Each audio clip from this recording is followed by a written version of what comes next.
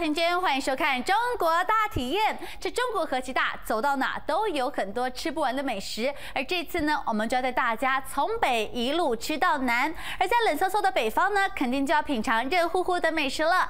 这次我们就在哈尔滨找到了百年特色小吃排骨包，以及见证哈尔滨城市历史的俄罗斯大列巴，还有来到东北非吃不可的饺子，保证让你全身暖乎乎。而来到中国最南的海南岛，最不能错过的当然就是四大名菜中的文昌鸡跟东山羊了，绝对是来到南方一定要吃的经典美味。现在就跟着我们的脚步到北方第一大城哈尔滨，开始今天的美食之旅喽！哇，来到北国第一大城，不管是街道、建筑，所感受到的竟是跟其他城市截然不同的异国风情。但是我来到哈尔滨，第一样要介绍的美食，不在热闹的中央大街上，而是在这些充满中国味的巷弄之中。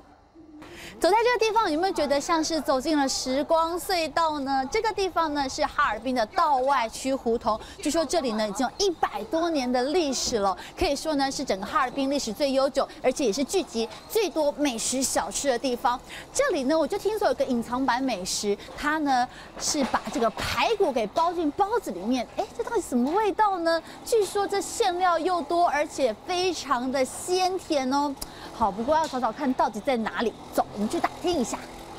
虽然事前已经做足了功课，但是这里的小胡同就像是个大迷宫一般，怎么找也找不着。但是在一路的探听之下，我发现这家店似乎是这里人气最旺的店铺，几乎是无人不知、无人不晓。现在就赶紧依着大家给的方向找美食去喽！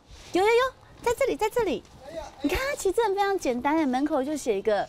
张包铺就贴三个字而已，然后也没有什么很华丽装潢，就这样旧旧的。好，就这间店，走进去吃吃看。我要吃排骨包，排骨包。哇，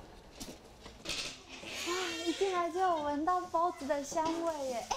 老板娘你好，哎，你好，你好，老板娘，我刚在外面的胡同外头啊，我就听好多人说，就是我会说这附近最有名的，他们就说就是你们的张包铺，哎，对呀，已经有百年历史了，一百多年了，就一直在这个胡同这边，在这个胡同。那卖的就是只有排骨包吗？对，排骨包子，就就非常好吃，非常好吃。我想吃吃看，看看我现在里头正坐着呢。里头正在包吗？我可以去看看吗？去看你们。好好，里头好。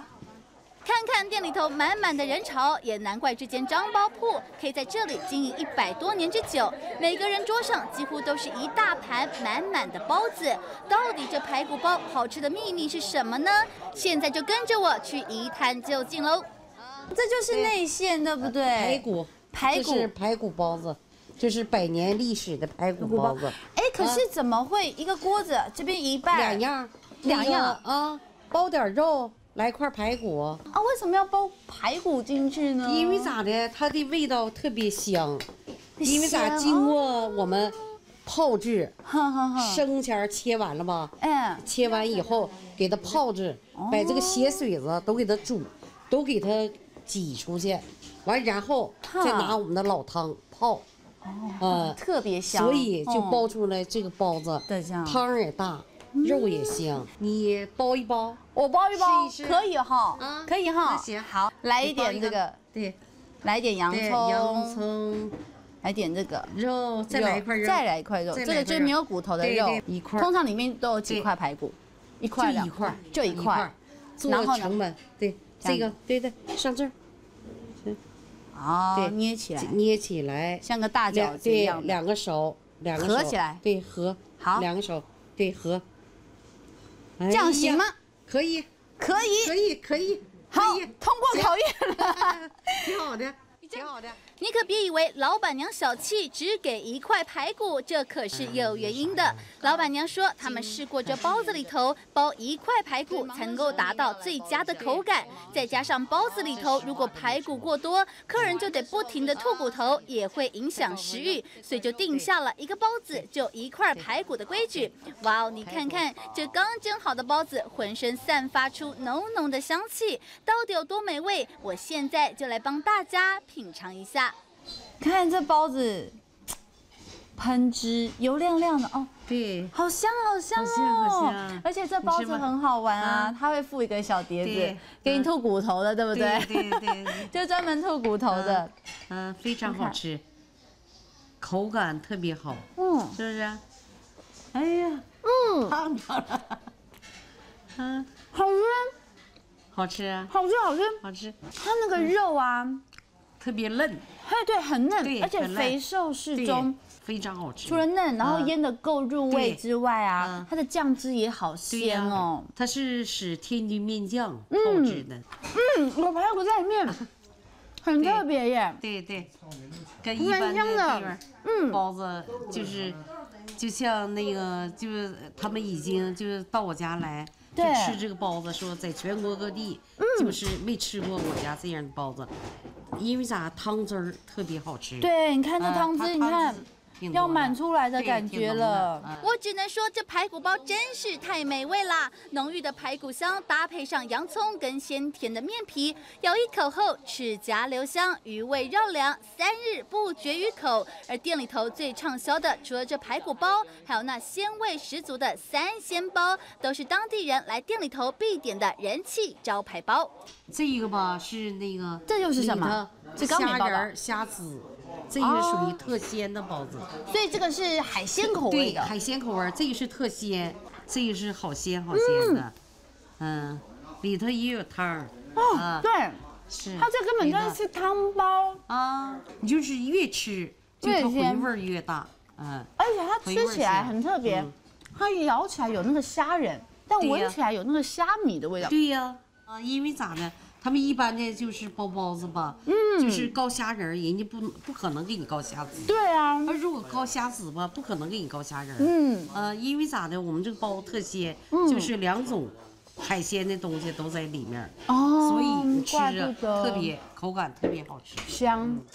这个老板娘强调特鲜的三鲜包里头，除了可以吃到鲜美弹牙的虾肉之外，更绝美的是那一入口席卷而来的汤汁，完美的冲击着你的味蕾，让人是越吃越上瘾，回味无穷。而除了这两种口味的包子，老板娘说，来到这道外区，还有一样让外地人流连忘返的饮料，我一定要尝一尝。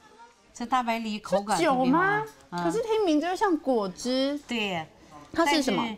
它不是像果汁那么贵吧？价钱虽然没有那么贵吧，嗯，但是它这个就是喝完以后对人体消化特别好，嗯，嗯，沙口，有点碳酸饮料，像像汽水，像那个人开着那个什么高级轿车了啥的，人到我家吃饭，嗯，呃，一进屋就来几来点包子，来点菜，完然后说的。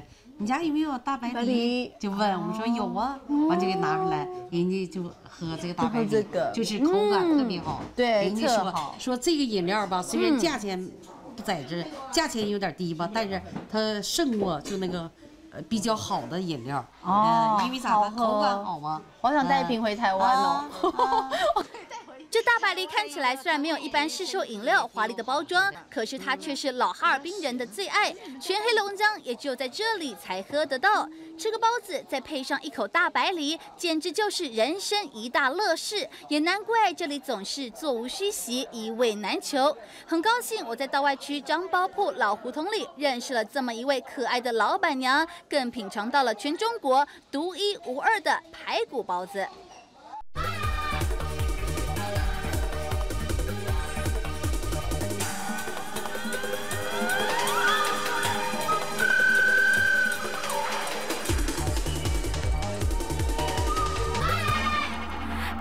这香喷喷的排骨包，是不是很想马上飞到哈尔滨来品尝道地的经典美食呢？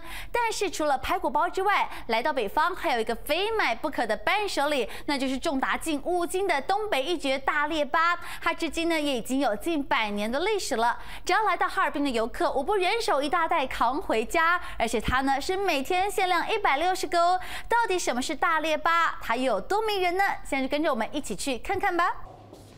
哇！告诉大家，我现在来到这个地方呢，就是制作大列巴的秘密基地。可是大列巴到底什么东西，其实我也不是很清楚，所以我可能要来先问一下师傅了。你们都知道这个大列巴说好像是哈尔滨的名产，但是什么是大列巴？它这个嗯，我们秋林的大面包吧，是原先白俄罗斯人留下的传统食品。哦，从俄罗斯过来的。对对，有一百零九年历史了。光这个面包就有一百零九年的历史。它整个见证了我们哈尔滨市发展的整个过程，有三次发酵的工艺，用啤酒花，最后用木棒烤它。哦，听起来这面包好像很好吃的感觉哦。是的。师傅，我现在就进去了吗？不行啊，不行，换衣服。哦，很严谨，就是还要先换上你们这样的衣服就对了。好好好，那我先换装，等下就可以进去参观喽。我们真的是太幸运了，雷主任说这个制作车间平常可是不对外开放，这次我们可是透过特殊管道才得以入内一探究竟。到底这重达近五斤的大面包是怎么做成的？肯定要来好好观摩一下。哇，就是这边，哎，正在做这个大列巴是吗？就是这样。哦，我没看过这么大这么大的面团，三磊师傅，这就是做那个大列巴的。对对，就是做大列巴的面。的面，哎，师傅，我好像这个面团是不是也不一样？我觉得它嗯特别的香哎，酒花的香味是酒花的香味啊。而且我刚刚一边看这个师傅在切这个面团，你们家的面团是不是特别的 Q 啊？哦。为什么？这是因为我们使用的是俄罗斯传统留下的那种菌种。菌种。对，经过三次发酵，使面团充分的展开了，才能达到这种程度。除了我们这个，这就没有了，全中国第一份。第一份。那这样一个是多重？一个四斤二两。一个面包就四斤多重，哪吃得完啊？大列巴的面包会如此巨大，不是没有原因的。光是面粉就得用掉两大袋。你看看这重达两百五十斤的超大面团车，我使尽全力去推，却怎么也推不动。光是这一个面包团就快要是我脸的两倍大了。而且这里更厉害的是，所有的制作工艺一百零九年来始终如一，每个师傅都得历经数十年以上的训练，才能够成为最专业的列巴郎。我看每个。师傅都超非常非常的熟练哦，那我都干二十多年了。刚刚那个师傅这样揉面是厉害的耶，我没看过这样两只手揉面包哎，这劲力要很大。全中国就这一份，就这一份。对，两手揉面包。两手揉面包。对。这要练多久啊？最少得一年，一年以后还是学徒工。师傅熟练地揉着手中的面团，可别看他们好像没出什么力，其实可内功了得啊！不管是力度、方向，都有着一定的规则，全都得遵循老祖宗传承下来的方法，才可以做出这冰城一绝大列巴。师傅，你觉得我我揉得起来吗？你可以试试。我可以试试吗？那你要教我吗？来，跟我学。跟你学。我学完可以做礼拜郎吗？这样，我要高收入，太小，我的手太小，根本揉不起来。你我揉成一起了啦，分开分开，这样。对，一层一层叠。而且你看，一边揉的时候啊，还要把它揉成圆形的，对不对？对。好难哦，师傅，我这样对吗？不对。得揉十二三圈左右，十二三圈呐，那我一个个来好不好？怎么用？手怎么用？嘿，一个是这样的，一个是这样，是这样，这样，这样，对吗？对，把动作连续了。我的天哪，这真的是太困难了！经过这样的实际操作，我才发现要成为一个列巴郎还真是不容易。难怪主任说，这些师傅们光是学揉面这门功夫就得花费一年的时间，前前后后还得揉个二十年才能出师。看看墙上这些传人的照片，据说这些列巴佬在过去可都是响叮当的人物，所以以前做这个工作是一个非常高尚的职业喽。那当然了，高看一眼，高看一眼就是很尊敬、很尊敬的意思吗？是。那是不是那时候薪水收入也特别高？是的。真的。啊嗯。有多少？是一般面包师傅的。这有多少我还真不知道，那时候没有我呢。那时候还没有你哈。可是我好像还听说，除了这薪水收入高以外，这媳妇儿也特别漂亮。那当然。那当然了。这些长得都都这么精神呢。真的哈，看过哦，媳妇儿个个漂亮。对。真的哦。真的。真的。过去这里流传着这样几句话：上有天堂，下有面包房。大姑娘行三辈子好，才能嫁给面包郎。玉皇的女儿也只能做二房。列巴郎还要喊冤枉啊冤枉！由此可见，这列巴郎在过去的地位有多崇高，可是人人抢着要呢。要制作出最完美的面团，得一揉一压，重复十二到十三次。揉完之后，还得醒发一个小时，再进行一个钟头的烤制，才算大功告成。现在就跟着我大喊：三二一，开炉喽！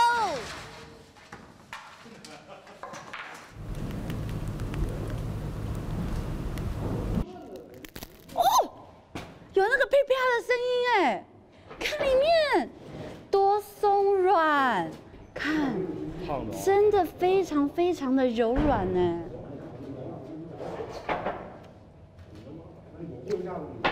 好好用，好绵密哦，很香很香。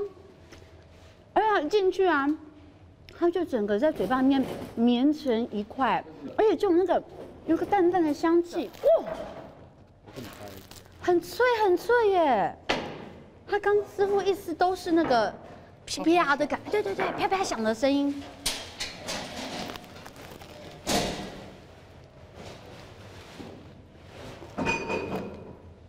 好脆哦，又香又脆。嗯，外头很脆很脆，但里面非常非常非常软，然后那种酸酸的 Q Q 的很扎实的感觉，真的会。越吃越香，好特别的面包，头一次吃到。看到这样的画面，真的让人不流口水也难。刚烤完的大列巴集体散发出噼里啪啦的声响，一开盖冒出浓浓的热气，在它坚硬的外表下，竟有着如此松软细致的内馅。看完这一整个过程，也不难明白为什么这大列巴能在冰城飘香一世纪之久。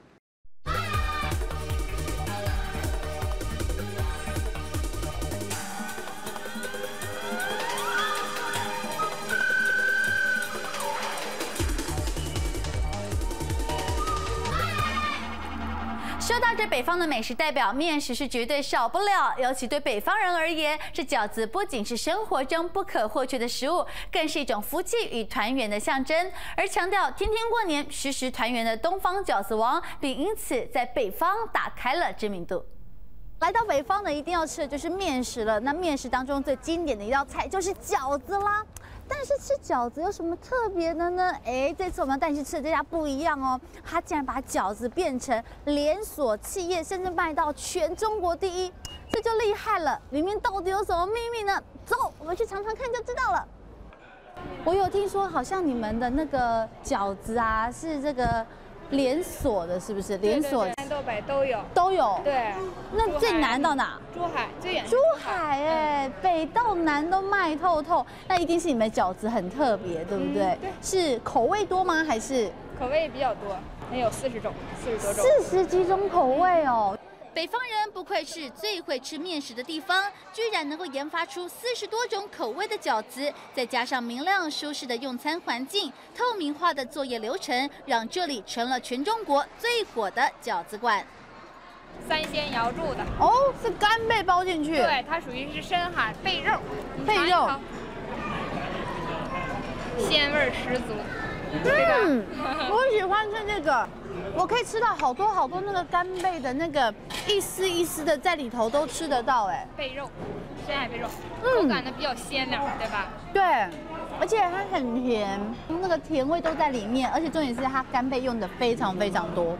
想不到这干贝水饺竟如此美味，干贝的鲜甜味完全包覆在饺子皮之中，咬一口，所有的精华在嘴巴化开，让人是忍不住一口接一口。那接下来这个这个就是三鲜瑶柱那个鱼翅，鱼翅哇，炸鱼翅。吃完这个干贝，现在要吃鱼翅来的，哇，鱼翅吃进水饺里太高级了吧？这个对，这个呢对身体呢是不用说的，那是非常的好。鱼翅水饺哎，来东北可以吃到鱼翅水饺。我已经看见你把鱼翅吃到嘴里了，有没有看到？鱼翅，哎，很明显可以吃得到那个。一根一根的，对，在嘴巴里面跳那种感觉，哎，这味道也，嗯，这味道也很鲜呢。因为鱼翅嘛也是海产品，所以它的味道呢也是海味比较十足的。嗯，跟跟那个肉呢配到一起的口味呢特别独特，有非常非常的搭，而且那个鱼翅咬起来还 Q Q 的、弹弹的那种脆脆的感觉。对对，哎，可以吃到很多很多鱼翅哎。天哪，这真是太幸福了！在这里，大家可以用最平时的价格吃到最顶级的美味。而这里的水饺有多好吃，我说不准，马上就请当地人来证实一下。东北的饺子，东方饺子王开的算是时间最悠久、最长的。呃，在整个哈尔滨来讲，我最认的还是东方饺子王。我吧，平时就爱吃饺子，完了。走了好多人家那个地方，不行，就吃着那个东方饺子王的饺子，呃，味道好，完了还干净。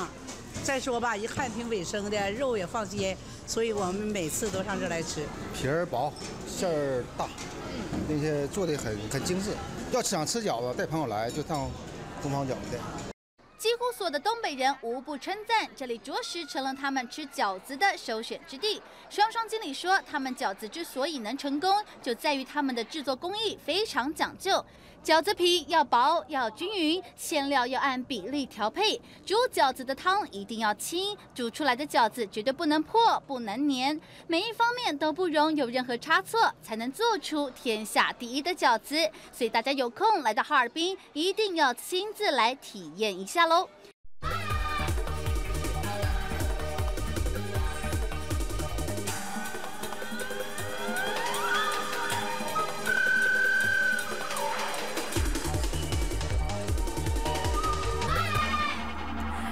中国最北的黑龙江，现在我们要带您来到艳阳高照、四季如夏的海南岛了。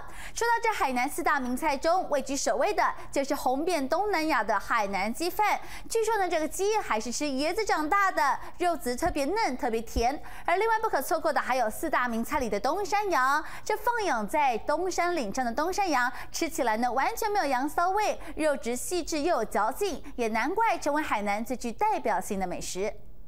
说到这新加坡的海南鸡饭呢，全世界听过、看过、也吃过的人没有几千，有几百万人吧。不过这海南鸡饭到底从哪里来的呢？从这名字上来听，八九不离十，就是从海南来的。而说到这海南最有名的鸡，当然非文昌鸡莫属喽。那么这文昌鸡是不是就是海南鸡饭的老祖宗呢？我们今天就来到了文昌鸡的养殖基地，来把问题查清楚喽。Go！话说，文昌鸡就是海南文昌市特产的土种鸡，大多养在海南岛东北部地区。不过，这文昌鸡就是海南鸡饭的老祖宗吗？我看我还是先来跟养鸡场的老板好好请教一下吧。领导你好，啊你好，所以这些就是文昌鸡喽？这就是文昌鸡。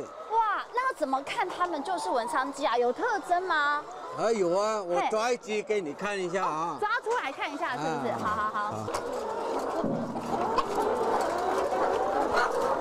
哦，这个就是文昌鸡，它有特征啊。文昌鸡呢，一个是嘴小，嘴嘴很小，哎，又小又短，小又短，嘴巴小又短。一个是冠也小，还有一个是脚，它的脚呢比较短又小。云总说啊，正宗的文昌鸡主要特征就是三小两短，头小、颈小、脚小，还有颈短、脚短。而文昌鸡会这么有名，相传是明代一位文昌人在朝廷当官，把家乡的鸡献给皇帝。文昌鸡的美味让皇帝赞不绝口，才因此家喻户晓，流传了四百多年。据说文昌鸡会这么好吃，跟它的饲料可是有很大的关系哦。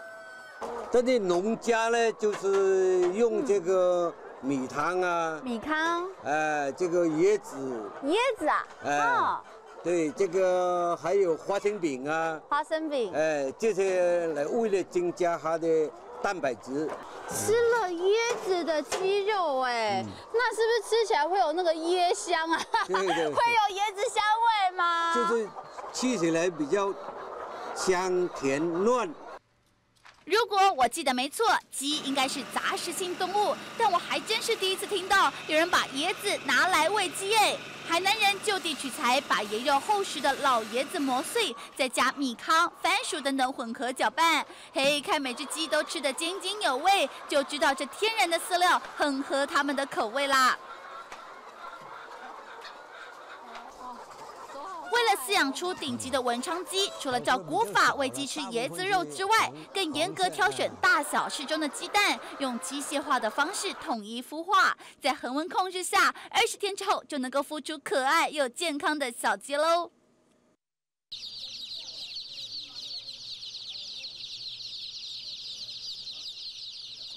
哇，云总，我看到可爱的小鸡耶！哎，这个小鸡通过孵化二十天就出来了。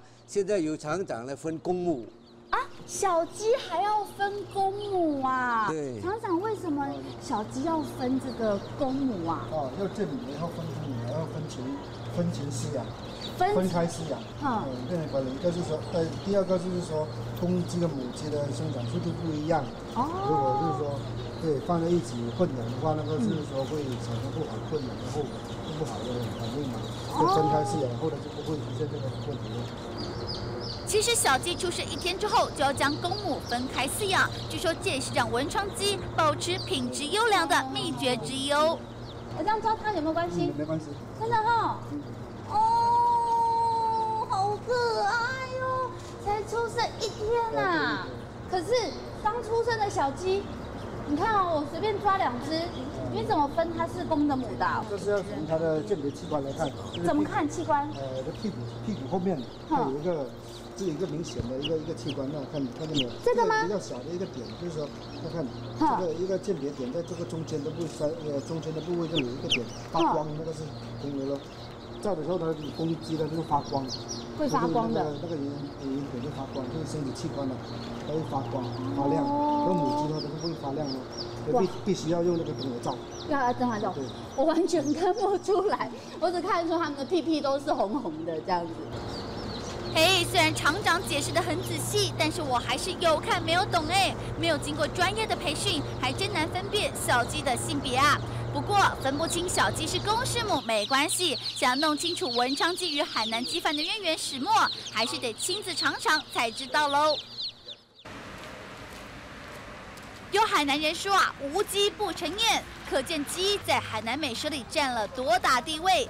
既然文昌鸡荣居海南四大名菜之首，咱们就来试试连皇帝都连声称赞的料理到底有多好吃吧。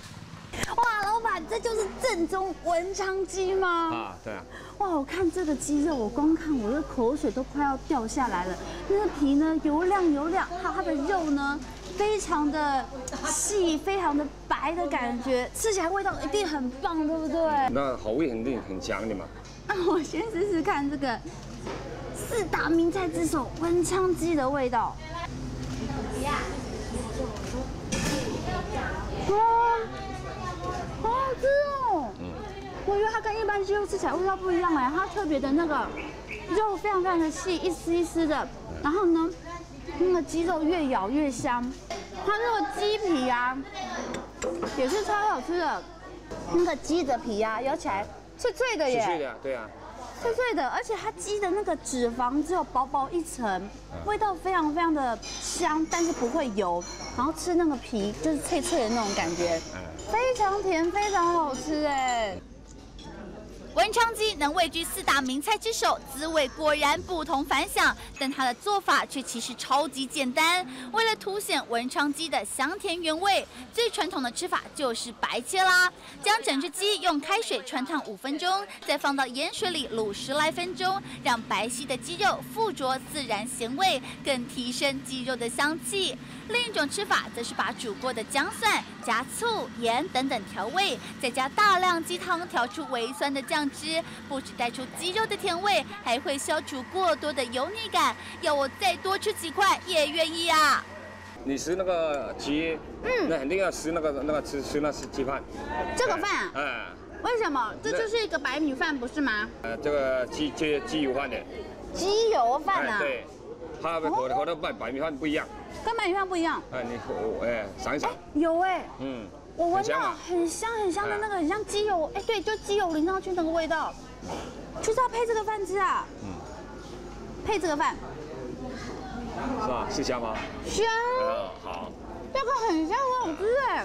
我觉得每一粒饭里面，好像都有吃到那个很浓很浓的那个鸡的高汤的味道。要煮出喷香的鸡饭，鸡汤可是不可或缺的灵魂人物呢。穿烫过的鸡汤加蒜头酥、盐等等调味，把蒜头煮到出味，再捞起来，倒白米一起煮。嗯，刚煮好的饭粒粒分明，还裹着一层油亮光泽，飘出的阵阵香气，就算单吃也是无敌美味啊。那这个海南鸡饭跟文昌鸡有关系吗？那是文昌文昌的鸡饭的代表是海南的嘛，那是肯定一样的嘛，一样的。那就我的文昌鸡是四大名菜之首嘛，对，这这这，代表海南的嘛。所以你的意思就是说，海南鸡饭的海南鸡其实就是文昌鸡哦。对对对。据说上个世纪三零年代初期，新马一带较多海南移民的城镇，就有人开始卖鸡饭，可能就是海南鸡饭最初的源头。而出名的文昌鸡发展到现在，除了白斩鸡的吃法，还有另一种用酱油、香料等等烹煮的口味，也很受欢迎呢。嗯，看我吃的滋滋作响，好好吃哦。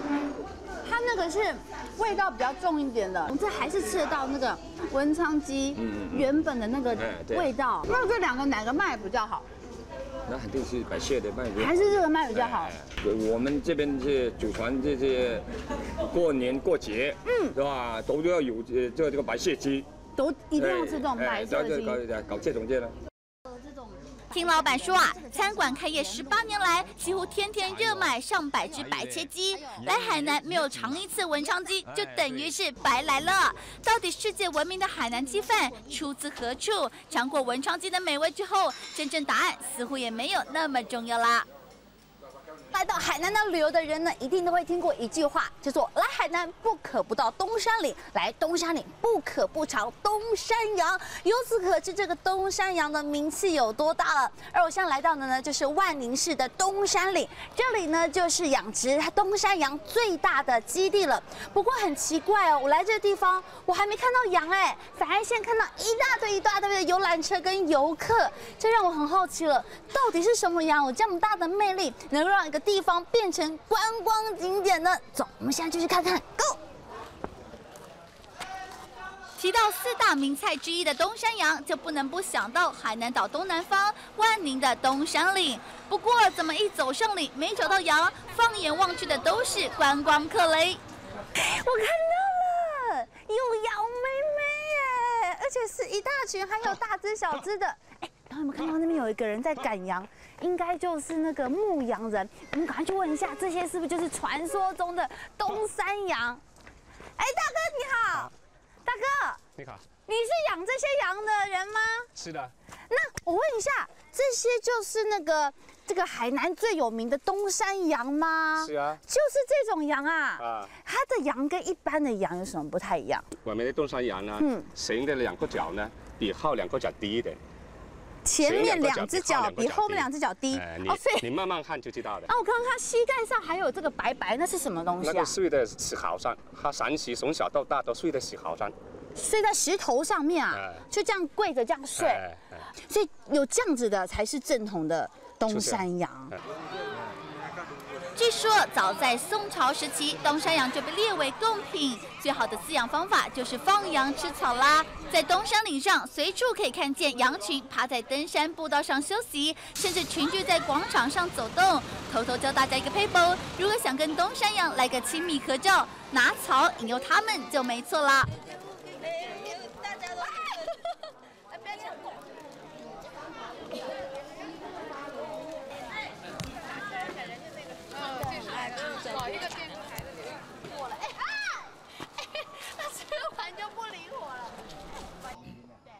听牧羊人说啊，东山羊长期在山林上奔跑跳跃，练就出惊人的脚力，个个都成了攀岩高手呢。在好几层楼高的石坡爬上爬下，可说是驾轻就熟啊。如果想要一睹东山羊的登山轻功，我看还得多运动才能跟得上他们哦。既然咱们千里迢迢来到了东山岭，当然不能错过东山羊的美味。听说那滋味会让你惊为天人，永生难忘。那还等什么？准备开动喽！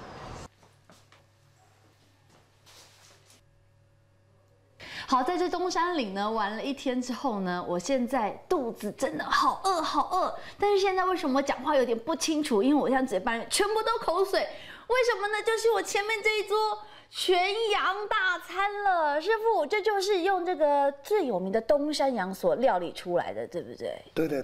是不是有一句话说这个来东山岭不可不尝东山羊啊？是的，来海南不来东山岭，嘿，一生遗憾。一生遗憾。呃，来东山岭不吃东山羊会怎么样？遗憾终生。遗憾终生哇！那我今天真的是没有遗憾了。那师傅这么多的这样子的羊肉料理，我们要从哪一个先开始吃起呢？最招牌的，最招牌的是百只东山羊。哇哦，师傅准备的这一桌全羊宴实在太丰盛了，但其中一定要先品尝的就是这一道白汁东山羊啦。羊肉过水去掉腥味，再和爆香的姜和特调的酒姜汁用大火拌炒，用盐、五香粉等等调味，最后再加猪骨高汤，用大火炖煮二十分钟。哦，有如猪大骨汤般的浓郁汤头，光看就让我受不了啦！哦，好香哦，师傅，这个汤是。很鲜甜的那种味道哎，这个汤喝起来是很香浓、很香浓的高汤哎。这是跟师傅的技术有关，技术有关，跟多山 技术有关，水。水。跟湖水这方面都有密切的关系。喝了汤之后，再就是要品尝这个羊肉了，对不对？真的，不吃会遗憾终生，真的耶。它羊肉第一个非常非常嫩，而且是一点那个羊骚味完全没有。嗯，怎么怎么怎么会这样子？是那个羊肉本身就是羊的羊肉的质量跟师傅的烹调技巧 都在在强调一次，是就是羊的质量。你看那个皮，嗯，是有点半透明的。要说东山羊吃起来完全没羊骚味，这一点也不夸张。而且它们常年在山上活动，肉质竟然不干不涩。听说这跟东山岭上的特产鹧鸪叶大有关系呢。呃，鹧鸪啥叶呢？生热解毒。哦，清热解毒。所以我们采出来以后，泡成茶喝呢，就能够生。肉解毒、减肥，你可以减肥，也可以美容，哇，怎么那么好？那羊吃了有没有也是这样漂漂亮亮、长得壮壮的？对呀，所以羊呢就没有什么病，很健壮，你知道，很好吃。除了原汁原味的白汁东山羊，另一样人气招牌就是红烧东山羊扣肉啦。使用上等的羊腩做成红烧口味，也是超级受欢迎的啦。嗯。真的真的很好吃，真的，它那个味道呢非常的香，而且那个皮呀皮非常嫩，嗯，然后里头那个有点哎一层一层一层这样吃下来的感觉，好像五花肉，可是对对，像五花肉那般的，就是非常非常的，嗯，哇，我觉得真是极品，真的就是极品。有没有觉得经理有没有？对呀，形容一下你刚吃了一口的口感，又香又嫩。余味无穷哇！对，就是余味无穷。男女老少的滋补听师傅说啊，其实一只东山羊就能变化出二十到三十道料理，像是带骨有嚼劲的红烧羊腿，或是香酥的炸羊肉串、炸羊排，爽脆的清炒羊肚丝，都是老少通吃、温和火味的滋补品呢。除了这些美味料理，师傅还特地准备不一样的，要给我补一下嘞。哦，清汤哎。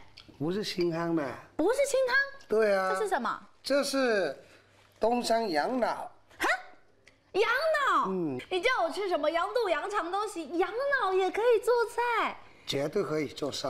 羊脑可以吃，而且很营养的。它对什么呢？一般上年纪的人、年纪的人呢，吃喝了，经常喝，那要口音啊什么的都有药治疗的作用。师傅，我不敢了，脑在哪里？有吗？哎，那块白白的。哎，对，那片 真的是脑。那绝对啊。